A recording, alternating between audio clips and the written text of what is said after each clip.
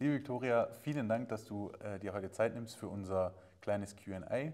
Du kennst ja das Format mittlerweile ähm, schon ein bisschen und wir starten einfach mal rein, ähm, holen uns ein bisschen ab, wie ist deine aktuelle Situation und wie sieht so dein beruflicher Background ähm, soweit aus?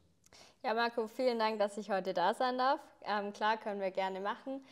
Ähm, ich hole ein bisschen weiter aus. Ich habe 2018 mein Abi gemacht, war dann erstmal ein bisschen unterwegs in der Welt und habe dann mein Bachelorstudium bei HPE, bei Hewlett Packard Enterprise, dual gestartet mit der DHBW in Stuttgart zusammen und habe mich danach entschieden, einen, einen, dualen Master noch oben drauf zu setzen. War mir wichtig.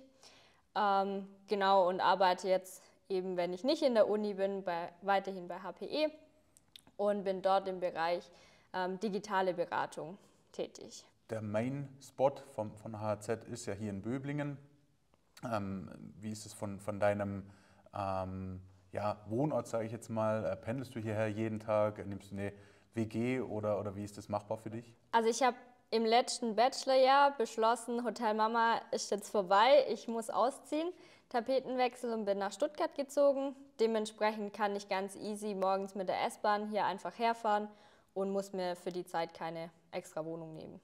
Okay, ja, weil wie du weißt, ähm, gibt es ja auch viele, die hier von ein bisschen weiter weg äh, anreisen und dann das WG-Lifestyle nochmal aufleben lassen. Für uns oder für dieses Format immer wichtig ähm, zu sehen, wie so eine klassische Uniwoche eigentlich aussieht. Und daher auch die Frage an dich, ähm, wie sieht für dich so eine ganz typische ähm, Uniwoche aus? Eigentlich startet für mich die Uniwoche schon sonntags, weil ich mir dann immer mein Mittagessen vorkoche. Ähm, ich bin dann natürlich in der Uni unter der Woche, mache aber nebenher auch noch ganz viel Sport. Also ich bin oft davor schon ähm, im Fitnessstudio, habe danach noch Termine. Also ich bin weiterhin in meinem Heimatdorf auch im Musikverein unterwegs.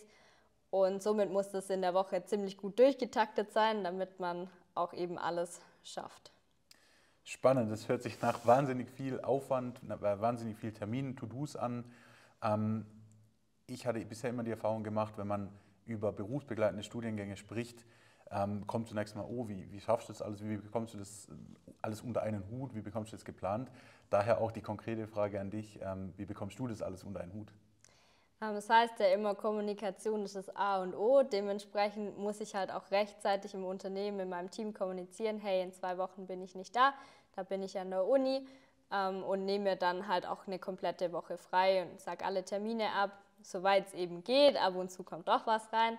Aber damit kriege ich Arbeit und Uni ganz gut unter den Hut. Was das Private angeht, ja, es ist ja wie wenn man arbeitet, die Hobbys sind morgens und abends, von dem her kann man das auch einfach noch im Anschluss machen.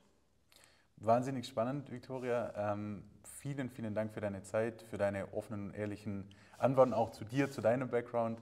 Ähm, ich glaube, das hilft jedem so ein bisschen, äh, sich beziehungsweise sich ziemlich genau vorzustellen, wie das hier bei uns abläuft und dass es auch am Ende mit bisschen Planung alles machbar ist.